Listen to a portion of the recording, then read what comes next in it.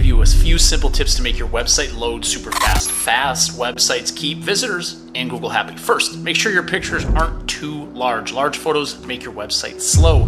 Use compression tools online to make your pictures smaller without losing quality. Ideally, these photos would be in WebP format as the file size is much smaller without sacrificing too much quality. Next, clean up your website. This means removing things you don't need, like old images or large videos or unused plugins. Think of it like cleaning your room so it's easier to find what you need. Lastly, ask your website host if they offer something called caching. Caching can make your website faster by saving parts of it that don't often change. So when someone loads their browser, the page loads quickly. Remember, a quick website helps keep people from leaving because they don't like to wait. You only get about one minute or so to get the customer on your site convert, and have them take action, so don't keep them waiting. That's it. Try these tips to make your website zippy and fun to visit. Hit the like button if you found this helpful.